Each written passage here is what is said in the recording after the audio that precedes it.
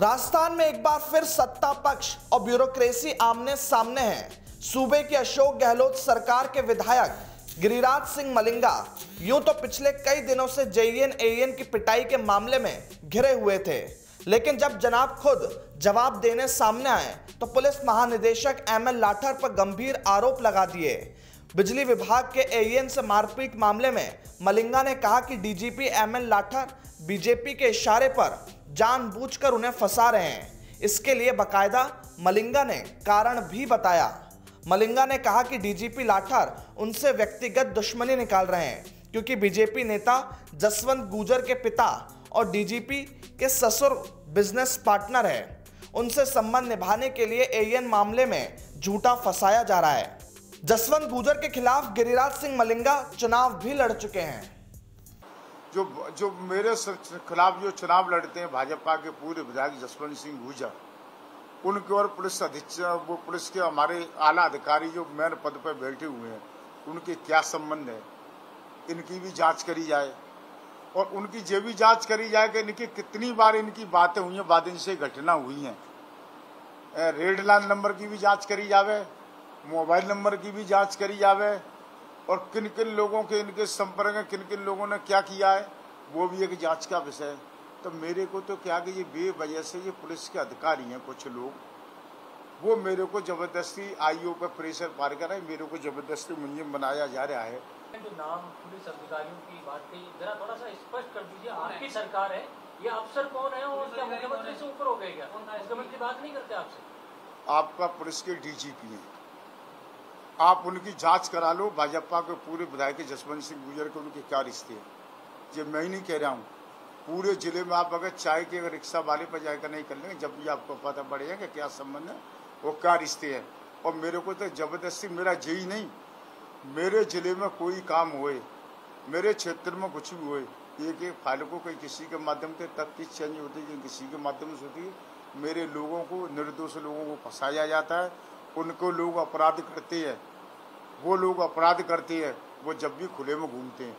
अब भी बाड़ी के अंदर गोली कांड हुआ है। गोली दोनों लंग से चली है। हमारे व्यक्ति के जो मेरे समर्थक है, उसके गोली लगी है। ठीक है ना? उस व्यक्ति के गोली लगी है। उसकी एफ़ आई आर ही बड़ी कर रही होती है। ठीक है ना? और उसने फर्जी एफ़ आई आर कराई है। उनकी फर्जी एफ़ आई आर होती है। और फिर जाकर नहीं, पुलिस जाकर नहीं, मेरे लोगों को जाकर नहीं, पुलिस के अधिकारी जो बैठे हैं, हमारे उनकी मेहरबानी से लोग आए हैं। वो लोग जाकर नहीं ये कहने का विधायक का नाम लो। विधायक इतना कमज़ोर नहीं है। मेरे संग लाखों जनता है। मैं इतना कमज़ोर नहीं हूँ कि मेरे को नहीं, आप बेवजह से रगड़े देंगे। आप जाकर नहीं, ज़िले के अंदर मेरी मालूम करो। अगर ये अगर इतने अच्छे अधिकारी हैं ये अधिकारी अगर भ्रष्टाचार नहीं करते हैं तो इन पर करोड़ों रुपए की संपत्ति कहाँ से मिलती है?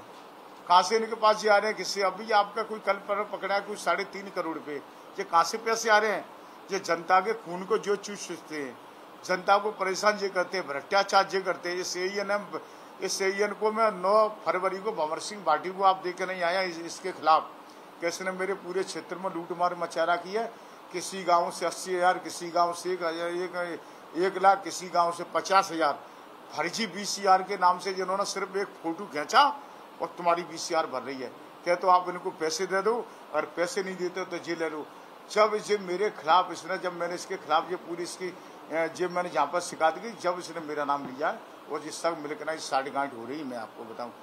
आपके डीजी से क्या है? डीजी आप इतने पद पे बैठा हुआ व्यक्ति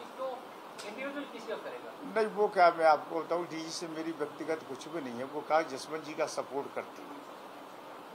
राजा राम जी, जसवंत जी की पार्टनरशिप थी। वो काफ़ी लंबे समय तक चली है। जो रिकॉर्ड की चीज़ें आप चाहते रिकॉर्ड भी नहीं करवा सकते हैं। उनके और भी पार्टनर आप उनसे पूछ सकते हैं कितने शराब के ठेकों में ये लोग पार्टनर हैं। वो लोग इनके संबंध निभा रहे हैं। हमारे पूरे विधायक उनको दमाद मानते हैं उस संबंध में। उन्नीस सौ छियानवे उन्होंने मारुति आठ सौ उन्होंने गिफ्ट भी की है। हनुमान नगर में वो कितने दिन जसवंत जी के मकान में रहे हैं? जब ये एसपी थे, कितने दिन उनके मकान में ये रहे हनुमान नगर में? ये सारी एक जाँच के विषय हैं। उस जमाने की जाँच करी जावे कि ये कहाँ कहाँ पर रहे हैं हमारे डीजीपी साहब। वो भी एक जाँच का विषय है कि कितने दिन इनके मकान में रहेंगे